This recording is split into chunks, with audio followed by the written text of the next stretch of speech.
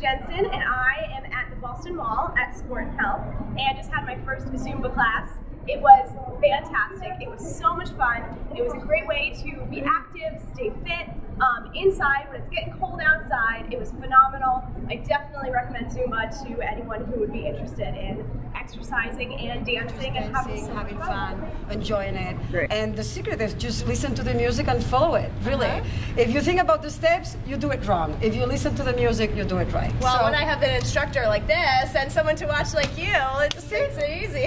Believe me, I weighed 300 pounds two years ago. Look at me now. You can imagine how much fun I enjoy having this class. Mm-hmm. I lost se- 16 pounds since I started Zumba. As a woman, my body totally changed. It got fit, you know, and I don't do weights, I don't do anything else. I only do Zumba. My life changed, really. It totally changed. He changed my life, actually, you know, with Zumba. Well, I had a great, Yeah. great Zumba class today. It was absolutely fantastic. Well, come and join us. We hope that more people comes and.